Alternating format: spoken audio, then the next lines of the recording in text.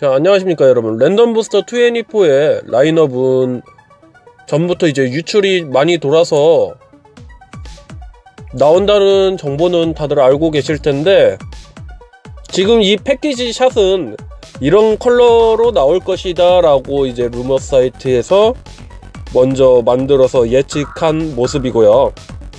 현재 이제 실제로 라인업에 구성될 컬러들이 저 해상도지만 이제 흐릿하게는 아마 공개가 됐어요. 자 일단 킹 헬리오스. 킹 헬리오스는 골드 컬러로 나오는데 이거 아마 베이포인트 이벤트로 일본에서 사은품으로 줬던 걸로 알고 있어요.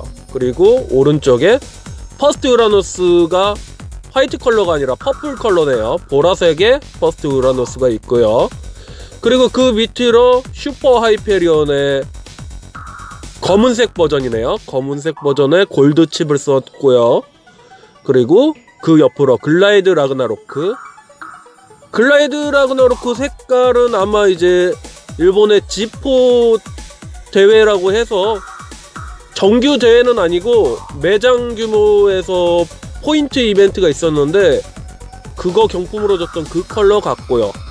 그리고 Imperial Dragon 흥룡 버전 같은데 아마 진짜 흥룡 버전은 전 세계 100명 한정 컬러가 있었는데 그 색깔에서 살짝 바꾼 것 같아요. 아무래도 한정품하고 차이를 두기 위해서 색깔을 조금 바꾸지 않았나 싶어요.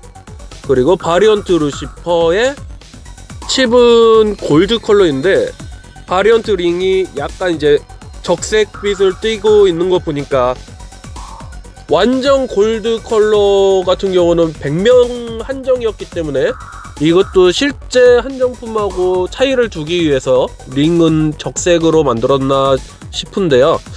자 그리고 Revive Phoenix의 골드 컬러. 이걸 random booster 16이나 17에 노란색 컬러의 Revive Phoenix가 들어있긴 했는데 이건 약간 더 진한 느낌의 골드 컬러일 것 같아요 그리고 마지막이 이제 Master Diabolos 이것도 Imperial Dragon처럼 흥룡 버전의 컬러를 좀 맞춰서 같이 이제 Master Dragon도 의식해서 이 컬러를 세트로 잡은 게 아닌가 싶어요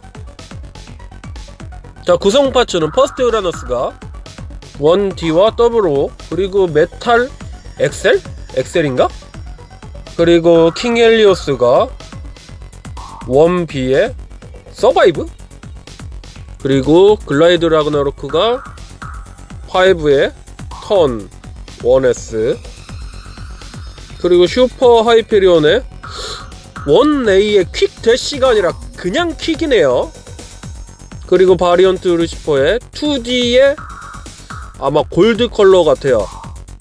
그리고 Orbit인가? 그리고 Imperial Dragon의 seven과 Eternal.